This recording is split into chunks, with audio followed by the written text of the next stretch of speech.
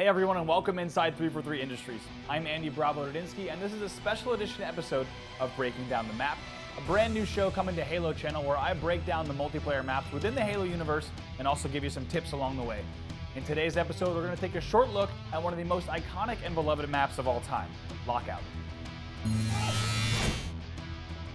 The original Lockout takes place on a remote, frigid flood research facility, and the updated version looks just as frigid and isolated, and also better than ever.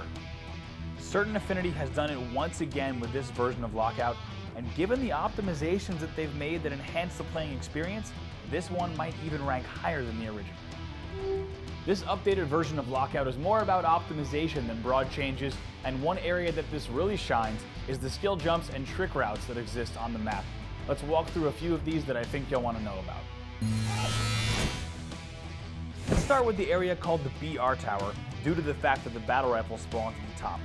If you're coming from top mid, then jumping to the top is as easy as one, two, three. It's also easy to do from the left side, also known as the open ramp, and also from the right side, known as the library. Now these certainly aren't the only trick jumps we've carried over from the original, so make sure you play around on Lockout come November to see what else you can pull off. Next up, let's talk about some of the new features on the updated version of Lockout. Minimal changes have been made to Lockout, so I'll keep this segment short and sweet. One of the first things you may notice while playing is that the glass on top middle is now breakable. This wasn't possible in the original, but don't worry, it takes quite a bit to break the glass, and once broken, it will eventually return to its unbroken state. Besides that, mostly everything on Lockout will play exactly as you remember it, except for the stalactites that can kill you from above one shot. Keeping in spirit with each map having an interactive element, there are three stalactites that can be shot and dropped onto your enemies. One for the BR tower, one for top mid, and one for the sniper tower.